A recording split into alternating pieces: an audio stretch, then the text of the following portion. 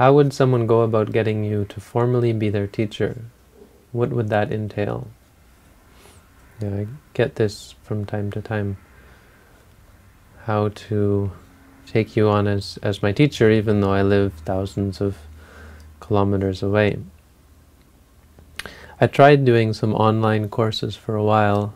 Um, I mean, practically speaking, there's not that much I can do for people who aren't uh, in my immediate vicinity. So the, the obvious answer is, well, if you want someone to be their teacher, you should go to them. And I always think back to this movie, King of American Shaolin, about this guy who goes, when I was younger, I saw it was an 80s movie, I think. Um, and, and he goes to the Shaolin monastery in China, I think, and they make him sit out in the courtyard, kind of like Fight Club, which was a 90s movie, I think. Uh, they make him sit out in the courtyard. and They don't let him in, and so he sits out in the courtyard and he waits. And he spends like days out there in the rain and, and, and until they finally let him in. And I always think back to, well, that maybe that's sometimes how hard it it can be to to get into a meditation center and find a teacher.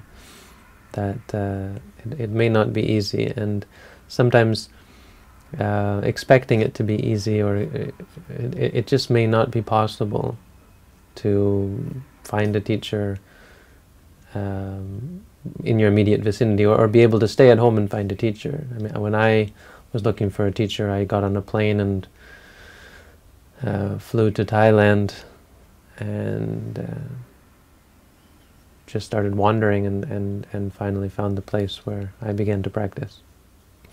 So um, practically speaking, uh, there's not much that can be done. And, and so, but this is a, a, different question. People often want to feel somehow that they formally have a teacher, and that that's, um, I mean, it's very traditional and ritualistic, and I, I kind of shy away from the the labels that it in, involves and entails. But in our tradition, it is common to take a teacher, and they have a whole ceremony for asking someone to, not just to be your teacher, but asking for the meditation training. It's called uh, which means um, entering into uh, the meditation, the, the, state of being a meditator, entering the, the meditation practice.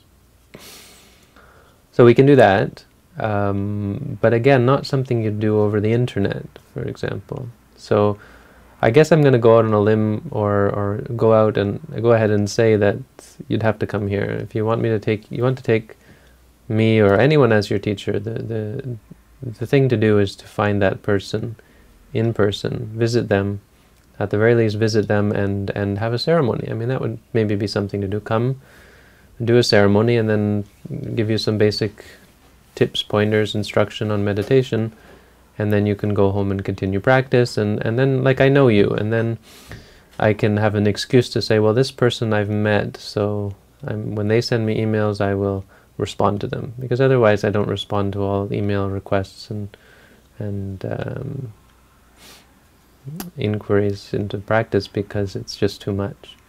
So that would be something, that would be a step. Come, meet, and uh, we can even do a, an opening ceremony to give you the meditation practice formally.